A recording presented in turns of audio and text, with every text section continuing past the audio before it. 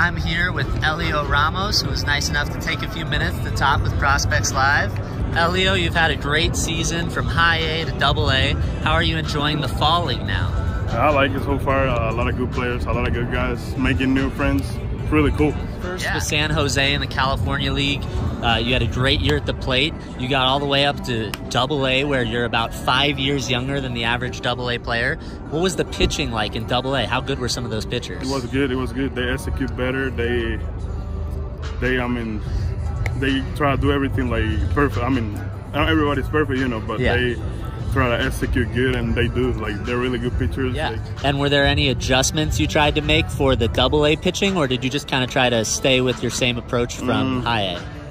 it kind of kind of the same, but at the same time, I had to like look more for my pitch and stuff. It was it wasn't that big of a deal. I just need, it's the same game, you know. I just yeah. have to keep playing and keep singing it.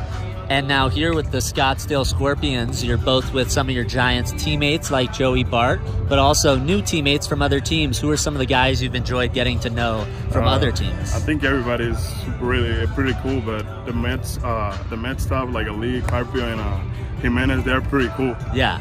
But I like everybody here. Everybody is like like you feel like family here, like they're a family and stuff. So it's Abs- really good. Absolutely, it's it's really fun seeing players from different organizations yeah. uh, bond like that. Now, only three weeks left here, and then it's the off season. Do you spend your off seasons back home in Puerto Rico? Yeah, I spend it there, and I just work out there and do my all my stuff over there. Yeah. Now you're obviously working really hard on your game uh, during the off season. But what are some of the nice things about being home away from baseball that you like to do in Puerto Rico?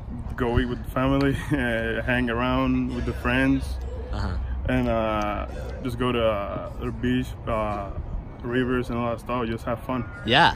What's the What's a classic dish in Puerto Rico that you love to eat? Mofongo with uh, mofongo with uh, pulpo is like uh, pulpo is uh, I forgot the I forgot the English name is uh, I don't know. I forgot the English name. Is it a type of fish? Or? No, it's like the thing that got like like seven. Arms, oh, like, like octopus? Octopus. Oh, like octopus, some yeah. mofongo with yeah, octopus. Octopus, I love it. I wow. Love octopus, yeah. yeah. And now, last question for you. You've got your Giants gear on. You're working your way up. How much do you think about the future of playing in San Francisco versus how much do you say, I'll get there when I get there, but I'm kind of. I get there when I get there, of course, and it depends on them, but I mean, I would love to play there. I'm excited. I just when yeah. I feel like that, like big league game, you know? Yeah. So now and then you'll have a little daydream of imagining playing at that yeah. ballpark on the ocean. Yeah, it's gonna be cool. I know on God and everything, I'm gonna be good. And with the help of my family and other people that love me, I'm gonna make it. and It's gonna be fun. Well, I love that humble attitude of yours, and thank you so much. Have a great rest of your fall league, Heliot. Thanks, Thanks appreciate it.